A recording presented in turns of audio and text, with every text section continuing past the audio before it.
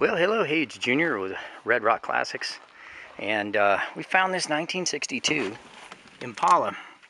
It's a cancer-free, uh, really straight body 1962 uh, Impala. Let's, uh, it's got a 454 in it, someone's uh, put in it. Motor came out of a truck somewhere in about the mid-80s with extremely low miles. You can just hear how it runs, and uh, you can just see how clean the motor is. let's go ahead and start it up. Uh, front end's been rebuilt on this car. Uh, this 62 does have an aftermarket AC. Uh, it is uh, not connected, but it does have a brand new uh, compressor, AC compressor. A little bit of work to do still uh, on this car if you're going to just kind of make a cruiser out of it, but if you're going to restore it, it's got a lot of really nice parts on it. Does need a windshield. Does not have power steering. It's the two-door hardtop.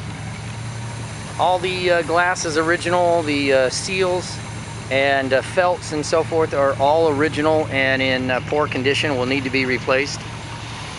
Car drives down the highway really nice. Let you listen to the motor.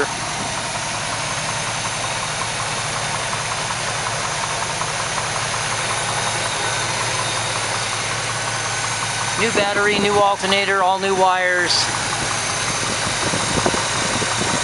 oversized radiator, HEI ignition.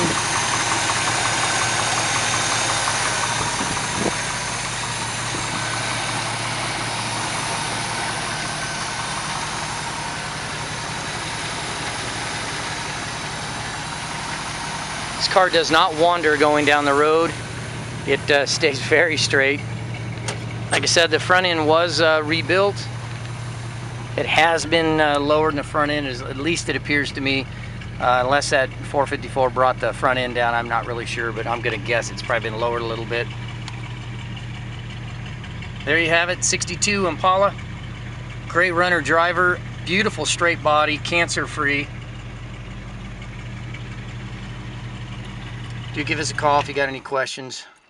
It's Junior, Red Rock Classics, 928 592 3771. Have a great day.